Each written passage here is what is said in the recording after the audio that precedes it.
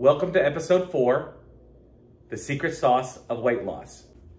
Notice how we didn't say the secret to weight loss. We said the secret sauce. So what is it, hun? Would it surprise you that the secret sauce to weight loss is food management and movement, or simply referred to as diet and exercise? Now, diet for us has a negative connotation. Because it's restrictive. It, it every I mean society has evolved to where dieting is you're restricting something from whatever it is you're eating. It's important for us in this episode that we're deliberate in in how we're actually sharing uh, this piece of information. So, why do we say the secret sauce versus the recipe? Well, I mean, the when we say secret to weight loss, it's it's not a one size fits all. I mean, at the end of the day, yes, calorie deficit is the main ingredient to weight loss, but everyone's hearing about that right now. We're not going to beat that dead horse. And so we're giving you the secret sauce, which is, you know, like a good gravy and it ties all the food together and it just, it makes the meal that much more appetizing. Absolutely. so there are some things that you may hear whenever you're, you know, whether it be uh, surfing the web or listening to uh, people that you may know in your life that are are fit. And there's some common analogies that are often thrown around, such as abs are made in the kitchen and not in the gym. Mm-hmm. So what does that mean? Abs are made in the kitchen and not in the gym. It's really simple. Uh, when you talk about food management, right? For us, you may use the word diet. We say food management because we we have played the yo-yo diet game. We have gone up and down in our weight over many many years, and so what we've learned is that diet is a bad word, and it's more about a lifestyle change. However, once you start getting that lifestyle change implemented in your life, mm-hmm. and you're seeing the results of your efforts, it really turns from a lifestyle change into uh, how am I consuming my food in order to give me the energy that I need in order to perform my workouts for us. But it could be just, you know, how do I chase my kids around a soccer field all day long? Or how do I get them back and forth to school as well as uh, the other things that I have in my life that are, are, you know, require you to not just be totally exhausted by lunchtime. So. So it's just another way of looking at the word diet and the word exercise. And so we're just giving you a different perspective on it to yeah.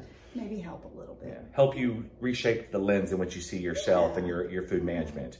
Um, in addition, we like to take and say there's an 80%, 80-20 rule, right? That's what I always say, yeah. And so it's 80%, you know, food management, 20% mm-hmm. movement. Mm-hmm. So that's key because when anybody starts a transformation journey, almost 100% of the time, what I hear is, I want to lose weight. And so the very first thing that they do is they try to run out and get a gym membership in order to get movement in. Mm-hmm. But it starts at home. Yeah, people actually do it backwards. People think I need to get movement and before I change my diet and I need to have some kind of activity where I'm I'm burning calories uh, before I ever even discuss what I'm eating and putting in my body. People have a tendency to start backwards. Yeah, yeah. They, they, have a tendency to start watching what they eat, but really their their focus is on I need to get to the gym and get movement versus I need to clean up my diet at home. And that brings a good point. I was listening to a podcast the other day where they said that exercising is a horrible way to lose weight initially. Um, and I won't go into the details of what they said, but it's basically the premise of when you start working out, you get hungrier and you want to eat more. So dieting or managing your food in the beginning initially can have a, you know, a reverse effect on you. And so I'm always the a big advocate of you don't have to buy anything. You don't even have to buy a gym membership when you first start. Just start it at home in the kitchen and move more and change the way you're eating. So let us talk a little bit about food management first. Uh, and the concept of dieting versus lifestyle management and the various other buzzwords that you may hear. So a calorie is a unit of energy, right? So when we say, or you hear, it's calories in versus calories out, or abs are made in the kitchen, it's basically telling you that you need to understand the energy that you're putting into your body, aka the calories you're putting in your body, uh, versus the calories that you are expelling from your body through daily movement. Mm-hmm. And I'm specifically using the word movement versus activity. Yes. Because movement occurs the moment that you wake up and you get out of bed and you brush mm-hmm. your teeth, uh, you get ready for work, you go to work, or whatever your routine is, all that is movement. If you have a sedentary job where you sit at your desk, when you stand up to walk to the bathroom or to walk to lunch, or maybe you, like Jenny, uh, have a rising desk, which are very popular, and you just want to stand up. Right. That is movement. Right. That is activity. And so when you're talking about food management, it's calories in, energy in, mm-hmm. versus how much energy you're expelling out with movement or activity. And there's a neat acronym for it when it's actually NEAT. And I don't know what it stands for on the top of my head, but I'm sure he's going to put it down below. It's the amount of steps and movement you get in. Absolutely. Yeah. And there's two types of uh, movement that have become very popular mm-hmm. due to the invention and the introduction of fitness watches. For me, I really like my fitness watch. It gives me the metrics that I need. And so I'm able to look at my active energy as well as my resting energy. Even though fitness bands and watches are notoriously inaccurate, uh, I still use mine in, in that manner for uh, data points. For data points. I used it for the amount of steps and for my time in running. I would always beat it, but I didn't use it for calories burned. Because she would track the running piece of it and the actual number of steps. Where I'm quite different, I am very addicted to all of my energy expenditure for my active energy and my resting energy. So I'm going to stop there because I could go down a rabbit hole with this. I don't want to. What I'm saying is that people uh, generally have some kind of smartwatch mm-hmm. which has a health feature that tracks whether it be activity or movement. And I think that's a good way on the start of any health transformation journey is that you have to have a baseline. And so you have to have some kind of barometer about what you're doing. Mm-hmm. And we like to tell those that ask us, where do I start? It's really simple start with tracking what you're eating. Don't make any changes. Don't make any changes into what you're eating. Mm-hmm. Don't make any changes by going to a gym and trying to get more movement. The very first week or two of your fitness transformation journey should just be about learning how to hold yourself accountable to what you're actually putting in your mouth and consuming. And when I say that consuming, the consumption piece, it is both food, as well as beverage. Mm-hmm. So whether that be alcohol or juices or sodas or sweeteners in your coffee, everything has a caloric value to it. And so you need to make sure that you're understanding and tracking what those calories or those energy sources in mm-hmm. so that you can start gauging as to when we talk about movement, how much movement are you doing to burn off the energy you're putting in? But going back to the whole fitness tracker piece of it, I'm a big advocate that I don't think you have to buy anything except a food scale um, to if you wanted to start the you know lifestyle journey of losing weight, whether it be fitness related or just losing weight in general. Like you don't need a tracker. If you get one, that's great.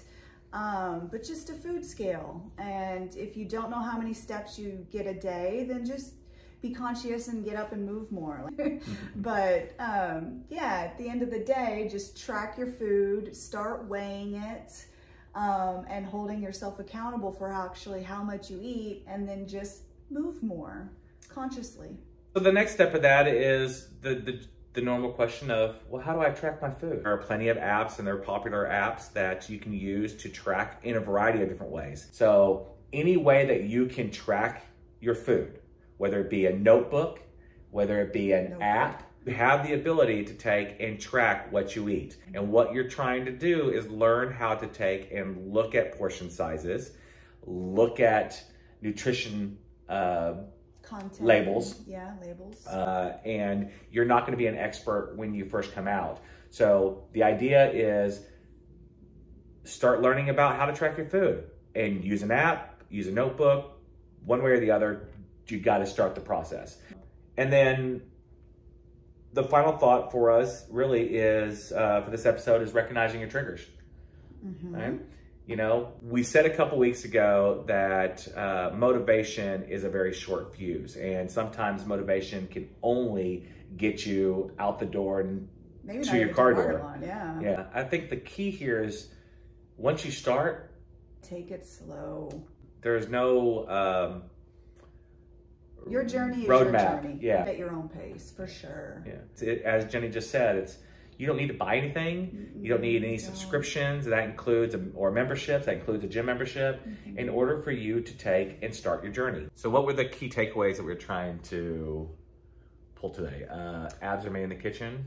Yeah, and just looking at words differently. Looking at the word diet, which we all know has a negative meaning to it, to managing your food or food motivation or food management, excuse me, and looking at exercise as just movement. I mean, because you don't need to quote unquote exercise, you just need to move more.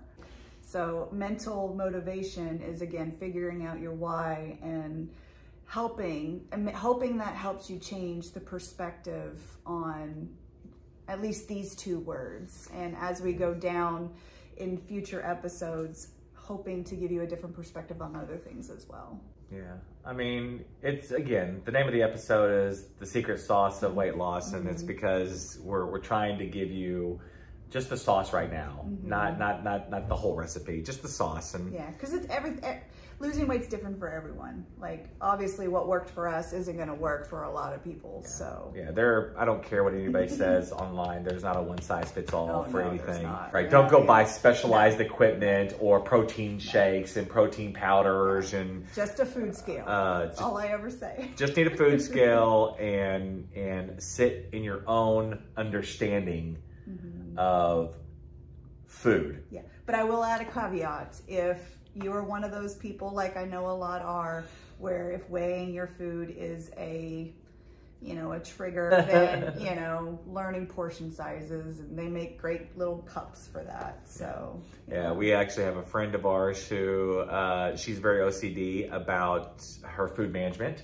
uh, since she started this journey, and it's funny. a couple of them actually. Yeah, it's well, but it's funny watching one of our particular friends uh, because she literally went and bought a small scale that fits in her purse for the purposes of uh, using when she goes out and dines out with her husband, uh, so that she can weigh both She's his and her food. too, yeah. yeah, they're doing an, an amazing job, as well as small little serving cups. Oh, I know. Like so she can weigh her sauce. Yeah, they're so adorable. So she literally can say, I need only XYZ of the sauce Mm-hmm. that goes on my chicken. And she will have everything separated uh, at ordering. And then she'll Mm-hmm. pour it in there. She'll measure it so that she knows exactly what portion size that her and her husband are getting. Yes. Now, I don't necessarily think that I myself would be that regimented uh, by Oh, going when I start prep here soon, that'll be me when we go out to eat, yeah, if we even go out to eat. if we do. If we even go out to eat. Because because there, there, there are too many other uh, Unknowns. uh, triggers at the restaurants That's true. uh, that, and it would be my triggers that would take in, and I think, you know, you have your own triggers, but it's my triggers that prompt your triggers because Oh, for sure. Jenny tells me all the time, oh, I order so much better than her. Mm-hmm. And so if we order food, she will definitely take and, and usually have, uh, 90% of the time the first bite off my food before I ever get into it. And so I don't want to order something and then trigger you. So, but, uh, you know, God bless our friends who can get that o- OCD about it. Uh, it is a beautiful thing Yes, for for her and uh, anybody else who does it. It's you got to figure out what works for you, and this works for her. This is how mm-hmm. she holds herself accountable.